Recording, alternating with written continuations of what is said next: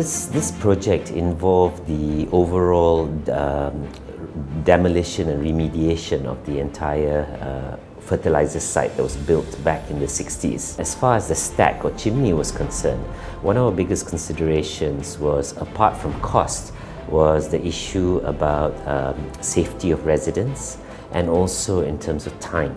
Um, so it, was, it presented a unique challenge for us to try to uh, bring down the stack in a, the most cost efficient but at the same time most environmentally and safe uh, way of doing so.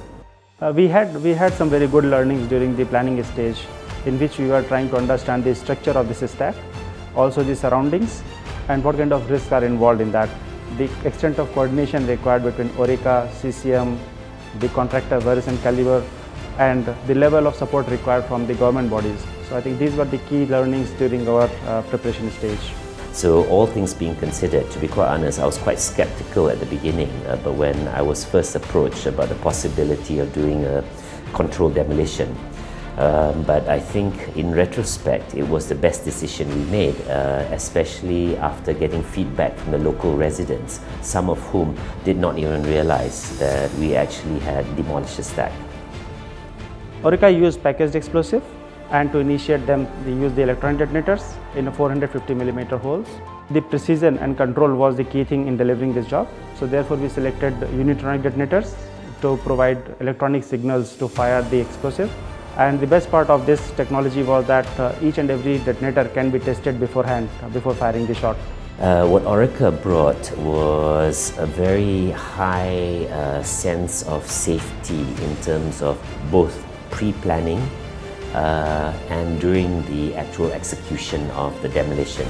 I think it was the first time that there's something such as this has been done in Malaysia and um, there were a lot of firsts that we had to encounter. The team were uh, from Orica uh, were great in terms of interfacing with the regulatory authorities and also more importantly also interfacing with the residents that surrounded the site. Orica brings in, onto the table world-class standards in terms of the management of uh, blasting technology and I think um, it's, it's there are always inherent risks in most products that you sell, but more so when you uh, manage a business like this. So to me, it's always about the safety standards that the partner brings to the table uh, that we uh, in CCM we, uh, would actually uh, subscribe to as well. So compared to the alternative, which would have been to remove it floor by floor, section by section, could have taken us up to three months and therefore the dust we would have generated during that period would have highly inconvenienced. Um, so this was unique, but I think it was the right thing to do, uh, taking all things into consideration. Empat, tiga, dua, satu, fire!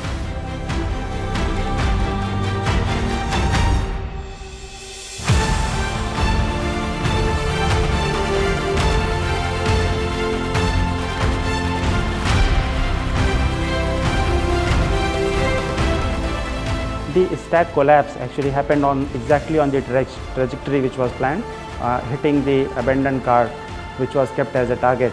So that told about the precision of the job. Other than that, uh, we also saw no dust and no fly rocks during the event, uh, which was a great outcome. For most civil contractors who are doing site remediation work, it should definitely be a tool that you should consider.